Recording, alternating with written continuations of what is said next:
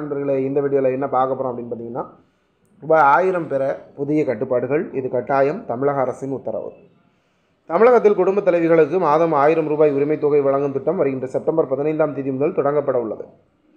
இதற்காக அரசு ரேஷன் கடைகளில் சிறப்பு முகாம்கள் நடத்தி மக்களுக்கு நேரடியாக சென்று விண்ணப்பங்களை வழங்க வேண்டும் என உத்தரவிடப்பட்டுள்ளது. தற்போது இதற்கான பணிகள் மிக விறுவிறுப்பாக நடந்து கொண்டிருக்கிறது. இந்த நிலையில் மகளிர் உரிமைத் தொகை ஆயிரம் ரூபாய் பெறுவதற்கு கைவிரல் ரேகை பதிவு கட்டாயம் என்று தமிழக அரசு புதிய கட்டுப்பாடை விதித்துள்ளது.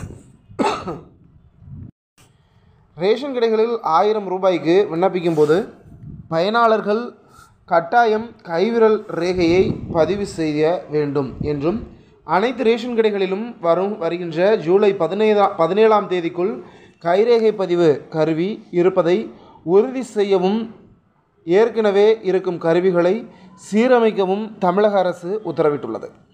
நன்றி நண்பர்களே இந்த வீடியோ பிடிச்சிருந்தால் லைக் பண்ணுங்கள் நம்ம சேனலை மறக்காமல் சப்ஸ்கிரைப் பண்ணுங்கள் தேங்க்ஸ் ஃபார் வாட்சிங்